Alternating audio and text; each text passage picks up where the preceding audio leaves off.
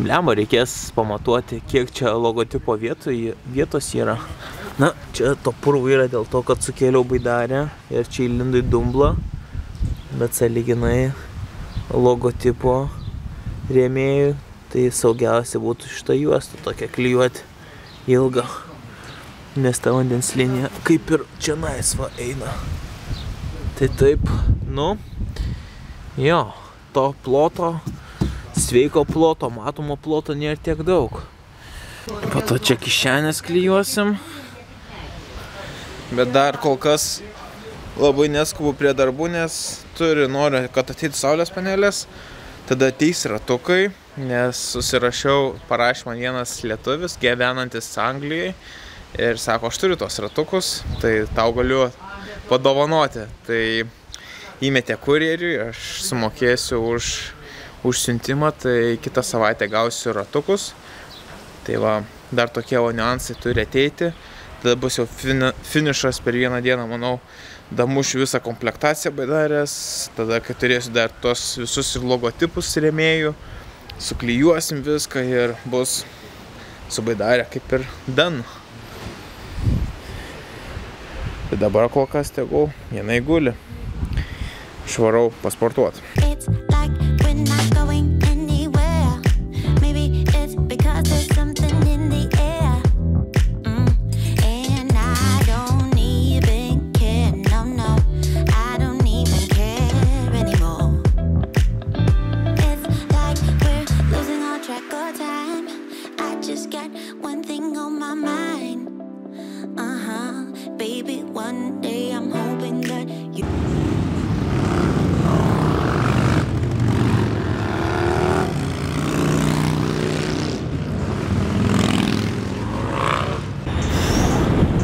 Biški šiandien vėjo užputė. Eina savo, bet šiltas, šiltas. Marius parašo, varom ant turniko. Skau gerai, tik iš senelių, po viščiuko, spilno skrandžio, pakačiosim picką.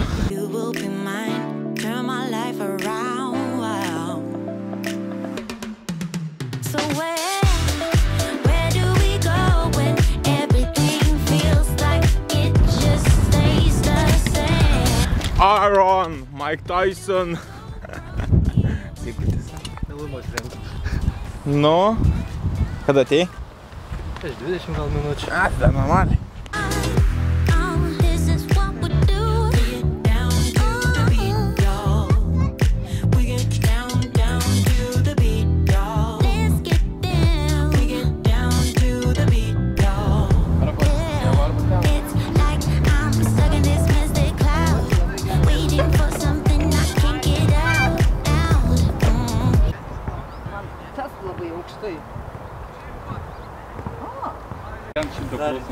Vlogui trūksta.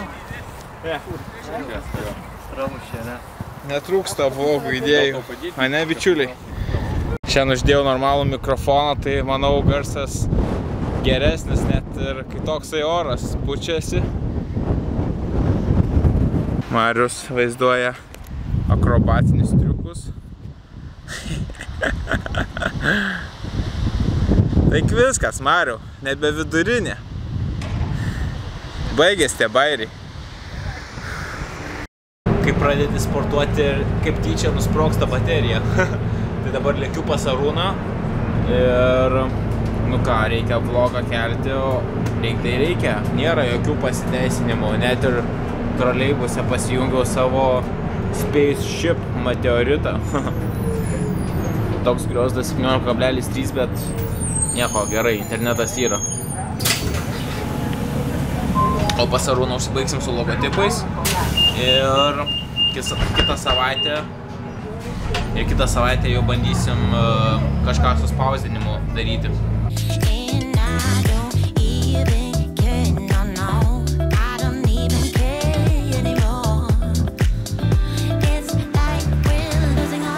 Nu, va, dirbam, dirbam su Arūnu ir, ir Eglė ir užsikimšo visą sistemą pas juos. Tai dabar atvarė šūdų ištraukti. Sveiki. Ne, bet tai čia aš sakau, šuliniai neužlyginti kartais. Žinom. Eina savo. Kai judina, tai jau spėju. Per tave čia eglė. Per tave čia eglė. Bet šiaip tai vizualiai tai jau nesimato. Jo, jo, čia kažkur tiesiai turėtų. Nes čia būna, kad tu... Veža, Aš ant tai nerandu čia, žinok. Nerandi? Nebėg. Į aną pusę vėl. Užsikimšo kreuklę, tūlikai viskas. Ir, ir Arūno namas, ir Nemono namas, ir viskas suvarė vieną šulinį. Tai plovėm braškės, žiūrim, kad vanduo nebėga. Nu ir viskas. Pas Arūną daugiau braškių nesivešiu. Nu, šūdo operacija pabaigta. Dabar tikri vyrai valgo tikrą maistą. Kava ir, ir lydekaitė rūkyta. Cheers. O aš grįšiu namo ir rytoj jubiliejus. Rytoj vieneri metai, kaip vloginu kiekvieną dieną, tai sėsiu rimtai, jo vlogo temą kaip ir sugalvojau, tai rytoj visą dieną montavimas iki pat turbūt nakties. Bus ką veikti. Tai palinkėkit sėkmės. iki. Just got